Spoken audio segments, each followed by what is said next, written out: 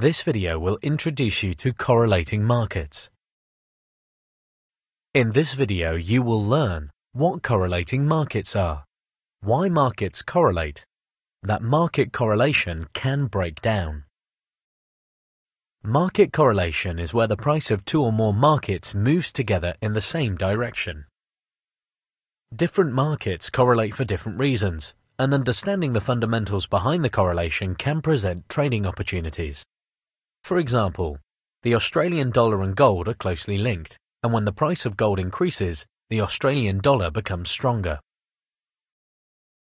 Let's look at this more closely to see why. Australia is a large producer of gold exports to the global market. In other words, buyers from other countries will buy gold from Australia. In order to do so, these buyers must first convert the currency they are using into Australian dollars. If the price of gold increases, a buyer of gold will then need to acquire more Australian dollars in order to purchase gold. Because there is now more demand for Australian dollars to buy the commodity, the value of the Australian dollar appreciates against other currencies. Hence there is a correlation between gold and the Australian dollar.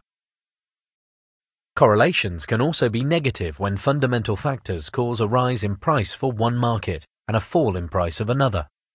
To demonstrate a negative correlation, we will look at the US dollar and gold. In times of an average economic downturn, investors may lose their appetite for risky assets, such as equities or bonds. They may sell their risky assets and gain US dollars. They then exchange their US dollars into foreign currencies in order to purchase gold on the world market. Therefore, demand for the US dollar declines, whereas the demand and the price of gold have risen.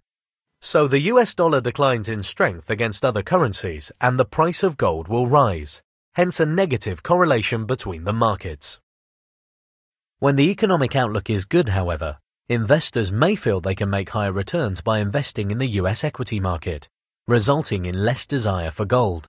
Consequently, capital flows away from gold and into the US dollar, resulting in a negative correlation. Using a further example, we can see a positive correlation between oil and the Canadian dollar. Canada is currently one of the largest exporters of oil in the world, and the US is the largest consumer of oil. Almost all of Canada's oil is exported to the US.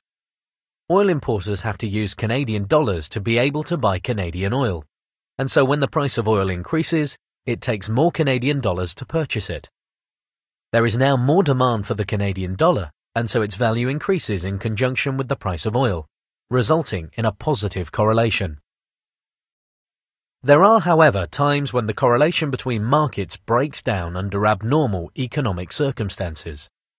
For example, we have established that during periods of an economic downturn, investors and traders will seek a safer investment in gold, and capital will flow away from the US dollar. In an economic crisis, however, this pattern can break down because the US dollar is seen as a safe haven as well as gold. In an economic crisis, some investors may want to buy US dollars, whereas other investors revert to gold. Therefore, both gold and the US dollar may gain value when the economic outlook is in a particular state of turmoil. So far, you have learned that certain markets correlate, and this is useful to understand when trading. Examples of positive correlation include the Australian dollar and gold, oil and US dollar and Canadian dollars. An example of negative correlation can include the US dollar and gold. Market correlations can sometimes break down in abnormal market conditions, such as the US dollar and the price of gold.